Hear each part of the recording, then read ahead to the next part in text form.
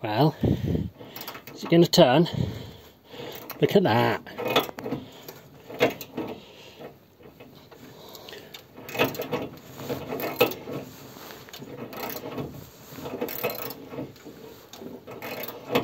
It's even got compression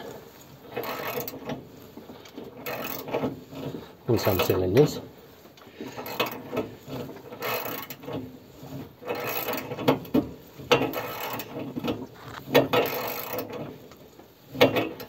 Not bad.